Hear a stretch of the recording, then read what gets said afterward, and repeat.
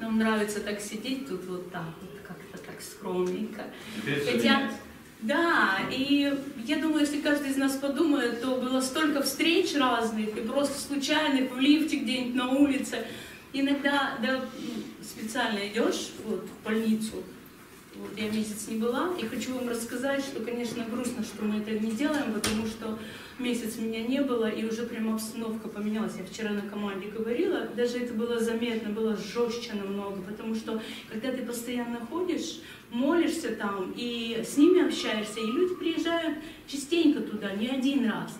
И они как-то уже тебя и знают, они как-то мягче становятся. Но в этот раз это было ну, как бы, я заметила такую какую-то, вы знаете, вот отчужденность даже.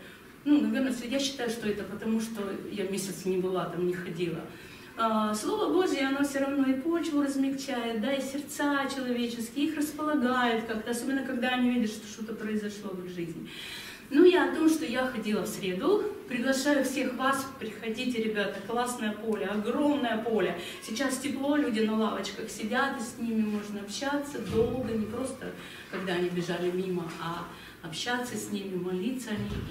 Что хочу сказать, что а, много было очень бесед у меня с мужчинами. Я не знаю почему, но я их, ну, как бы, с детства всегда была с мужчинами, ну, с парнями, с мальчишками в школе, и мне легко с ними общаться. Они, если у них да, то у них да. Если нет, то типа иди отсюда. Ну, четко все.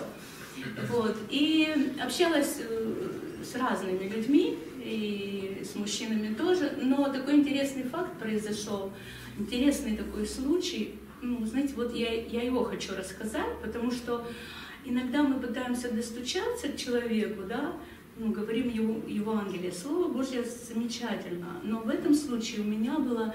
Я разговаривала с человеком минут 10, наверное, я уже собиралась уходить, и он подошел сам ко мне и говорит, ты, похоже, верующая. У меня вся семья верующая, я один неверующий, я э, занимаюсь, живу как я хочу, я их всех выгнал, но они меня достали. Он говорит, они меня достали, они меня все время отправляют в репцентр. Они просто ничего не говорят, только это, езжай в репцентр, тебе нужно освобождение, езжай туда. И вы знаете, вот мы с ним говорили очень долго. Я говорила ему Евангелие, истину говорила. И я понимала, что это он все слышал. И ему это ну, не очень интересно, не весело. И потом, знаете, вот как-то так получилось, Бог уже, я уже понимала, что мы буксуем. Я ему говорю то, что он знает. А, и я ему говорю, ты знаешь, я тебя вижу, правда, Бог как-то интересно показал его, вот просто я общаюсь с ним, и я понимаю, что я уже буксую тут, уже хватит с ним разговаривать, да, то есть он все знает. И я ему говорю, я тебя вижу как дерево, сухое дерево, на котором вот какие-то а, засохшие кусочки там а, листьев, ну, засохшее дерево. Почему-то вот так я тебя вижу. Вы знаете, вы бы видели его реакцию.